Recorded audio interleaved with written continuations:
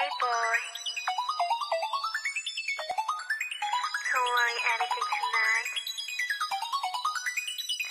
I'll be there like.